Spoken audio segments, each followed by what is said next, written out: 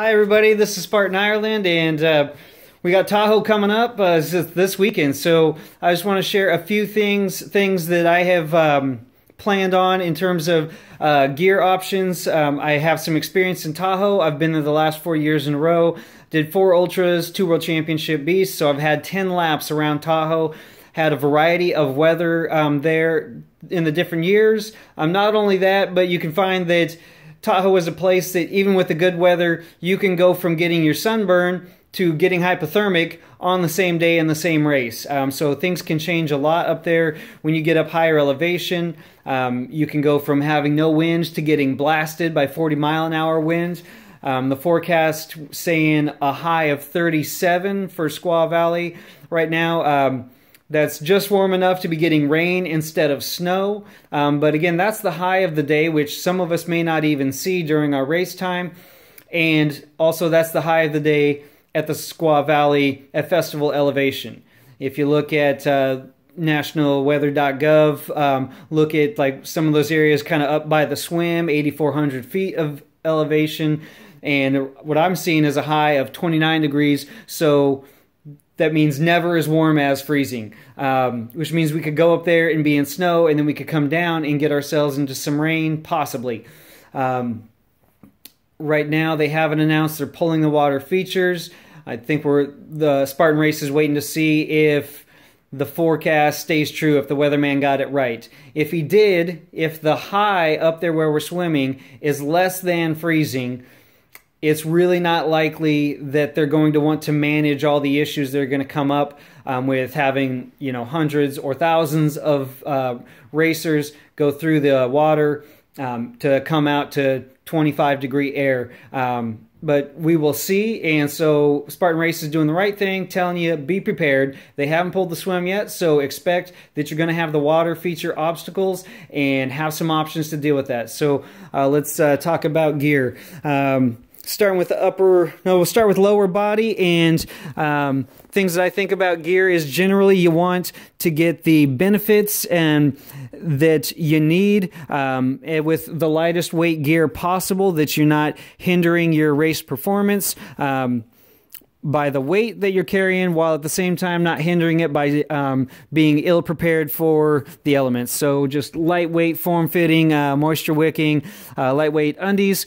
Um, going on from there, the next thing I'm most likely going to go with, especially if I know we've pulled all the water features, is a racing tight. Um, again, lightweight, moisture wicking, but it'll keep a little more body heat um, for my legs and keep my muscles warmed up. Um, if they if we have all the water features, um, unless you have something like I've got here, the hard shell pants to put on over and after um, after the swim to really protect yourself from the winds. Um, I would say that racing shorts, if you're going to get wet and be cold, uh, my experience is they worked a lot better because they're not keeping all the cold water on your legs. Your skin is going to air dry um, much faster than this is going to air dry, even though this does dry out pretty quick. Um, although it doesn't necessarily dry out quickly in you know 30 degree weather um, with a swim in 42 degree water.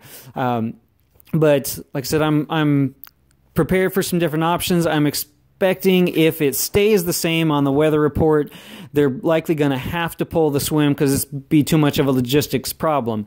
Um, so if that's the case, I'll have the racing tights on first. I'll have the shorts on um, over the top. That's a lightweight compression short. It weighs basically nothing, and I got these handy little pockets, no zippers, nothing to fuss with. I'll have um, racing gel packets in there. Um, even if I go with a hard shell pant over the top to protect myself from snow and rain. And also trapping more body heat on the inside. Um, I can slide my arm in between and get a get a gel packet with um, with no time wasted, no zippers, no fuss. Um, another option and i recommend folks bring options and then you are going to have to make some sort of a decision on race day make a judgment call but this is an under armour cold weather um, uh, base layer. So when I get moving, especially going up hills, that's going to trap a, a, lot more heat. That's really going to heat me up, and it's probably too much. Um, I guess it just depends on, I mean, if we're racing and it's in the teens, maybe I want that much heat. Uh, so that's an option that I have. Um, but likely this and maybe the hard shell pant over the top. I'm going to have enough body heat retention and protection from the rain and wind at the same time. Moving on to upper body. Um, again, my guess now is that what I'll likely go with lightweight, uh, moisture wicking, long sleeve. Um, it's made by Spartan Racewell. You know they're always changing the lineup. It actually has like a little bit of extra ventilation in your back to let more uh, more of your perspiration and body heat um, out that you just uh, you know aren't getting damp. Um, and so I'll probably go with that. Another option that I have, and it's uh, highly likely I could just take both, is just this really lightweight um, you know polyester shirt uh, short sleeve and so I'll, I'll, keep a little more body heat from my core um, and again it weighs practically nothing so i'm not going to feel that affecting my tempo on the run. Um, like I said, if we if we think we're racing in the teens, if I really think I need just um, a lot more warmth, um, then I've got this Under Armour cold gear, um, and so and I've been out there moving in this. I've been out there, you know, hiking in the woods, hunting, things like that, and um, you know, when you're moving, this thing, uh, this thing will heat you up fast, and we will, we will definitely be moving in Tahoe. So if I really think I need to fight, you know, just really frigid air, I've got a an option that's a lot warmer. However, aside from that, I think the most important upper body thing everybody should be thinking about is how are you going to protect yourself from the wind, the snow, and the rain? So I've got this nice lightweight waterproof, not water resistant, water resistant you're in uh, wet elements long enough, rain pounding on you, and it's going to start absorbing that into the material, and then it's not going to do you any good for keeping you warm. So I would say waterproof. Um, it's got a hood. The hood I can tuck away or I can pop it out. It's got these little doodads to. Um, cinch up the hood if I need it, like if it's windy, but I really want that hood on me so I'm not losing all my heat out the top of my bald head. And I would highly recommend when you have layers like this zippers uh, that's a big deal because you want to be able to change you know in a moment on the run um, how much heat you're retaining if you're too hot for the kind of work that you're doing um, zipper and boom you're letting some of that that air out so you can regulate yourself um, much better uh, the other things that i have um, this is made by yeti um, this is got the the Velcro, but then here at the top on the inside, it's uh, two rows of magnets. So um, it's uh, highly rated, highly reviewed for doing a great job of being perfectly waterproof um, and really keeping things dry, even if you do submersion like doing a dunk wall. And you can see it's got some room. It's actually like a four liter capacity. So inside it, I don't even know if I'll have both of these in there or if I'll be wearing them or not taking them at all but you can see it's it's got some capacity to hold some things. So inside this pouch, I have a down jacket. Let me set the phone down. Hang on. I'm coming right back, I swear. All right, so here we go. Down jacket. Again, if I need this much um, this much heat retention. I've got the option, um, like I said, because it can just fit around my waist. It's not going to weigh much. I'm not going to feel that um, when I'm in, at a run pace. Um, but if I wanted, I could pull that out. If I if I went out on course thinking I was good with my windbreaker and you know my my lightweight uh, lightweight layer, and I'm just freaking freezing out there, and you know, and it's a you know a health risk or going to ruin my race performance. I could have this stuffed away in here. It's been dry the whole time. Pull it out. Again, the top layer with a zipper so I can regulate body heat. Um, additionally, I actually have it's the same thing, but it's a vest. Um, so I got another option for keeping more heat, but less than the long sleeve version. Um, moving on from there, I've got um, shoe options. I love these Speedgoat Evos. Um, they fit perfect. Um, I mean, they they the upper just uh, locks down on the foot, great, drains water, great. Uh, it's a great racing shoe with good traction, um, more than adequate traction for what we're going to see in Tahoe. Like I said, I've been there and done that. It's not as steep as Big Bear, um, though we are going to get quite a bit of elevation gain um, but um, those those are a great option, and I think they're just a nine ounce shoe. This is heavier. Um, but I raced this in Whistler um, on a course where we wouldn't get water features till the end, so no submersion till just at the finish line, but raining the entire time, wet grass, wet vegetation. Um, these kept my feet dry the whole time. I was able to have um, just a really uh, fun and epic head to head battle with Matt the Bear Novakovic. And as we were flying down the trail, um, and he even told me later that his heart rate got up to 180 so we were really moving um, i did not feel the weight of these shoes at all even though they are a 12 ounce shoe um, but like i said they're waterproof my feet were dry there in, in a rainy whistler course all the way to the end until i actually did dunk wall my feet were dry and comfy the entire time and um, this uh, speed it's the speedgoat mid waterproof and the shock absorption is just unreal. So um, it'll be nice to be able to, you know, move fast on the descents and be protecting myself, um, protecting my feet at the same time that I'm doing it.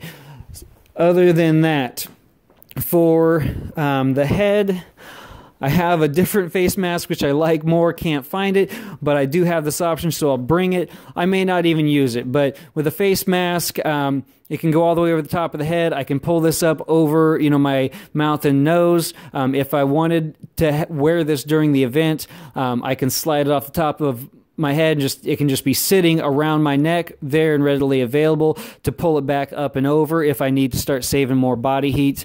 Another option I have is just this buff that I got with um, a biggest team win, and it's really lightweight. I mean, again, it's something that weighs nothing, um, but um, and I may not use it but it's an option to pack with me because with this you can have it you know wear it over the top of your you know over your head um, to retain some more body heat. You could pull it down around your neck. You could have it it could be around your neck and then you pull it up just enough to be over your nose mouth shield your face you know halfway. So another option the beanie is not a racing gear item but more of uh, maybe just not getting cold at festival while we're all hanging out and enjoying each other's company after the event. Um, other than that, another thing that I'll take, um, hydration pack. I normally um, do my races. Uh, I have found that I can depend on and trust Replace SR. It's an extended release um, electrolyte tab. Um, it lasts four to six hours, so I'm going to have those in me before I even start the race. I don't need anything more than water in terms of the electrolytes topic. Um, and for um, a lot of my calories, I'll just be taking the gels along with me. Um, but this is the World Championship, and I don't want to burn five seconds stopping at a water station. And Tahoe is a lot of work, a lot of elevation gain. It doesn't matter that it's cold. That's not going to change the fact that you're, um, you know, expending a lot of energy, a lot of body heat, and sweating, and um, and you know, going to need to be hydrated. So I'm taking a hydration pack. It's got 100 liter, um, not 100 liter. That's retarded. Uh, 100 ounce. Um, capacity. I don't want to carry that much weight but something like 32 ounces body armor. I've got extra calories with me. I've got fluid. Um, it's not going to weigh me down. And then i've just got that there with me that um, i can get some hydration like i said without stopping. Um, other than that uh, final recommendations for me personally um, i would say um, take your options, take what you need, but pack efficiently. I've got the carry-on in the backpack. I don't want to trust the um, I don't want to trust the airline um, to get my bag there. And, and I don't want to get down to bag check and wonder if uh, somebody read a tag wrong or something. So I like to have all my stuff with me in the plane because um, this gear, I mean, this stuff can be lifesaver or at least race saver. It could make or break whether or not you can finish in the elements that we're going to be facing in Tahoe. So um, don't let somebody lose track of your gear. Um, other than that, man, um, this is going to be epic. We're going to have some some harsh elements to deal with for sure, um, but this is going to be one to remember. Um, and you can do it. You can get to that finish line. So um, come prepared. Have some options. And you know enjoy it. This is a great sport, Spartan racing community, man. I, I love it. Um, I love being out there with all you guys, and I can't wait to see you. And I'll see you at a finish line soon. Thanks for watching.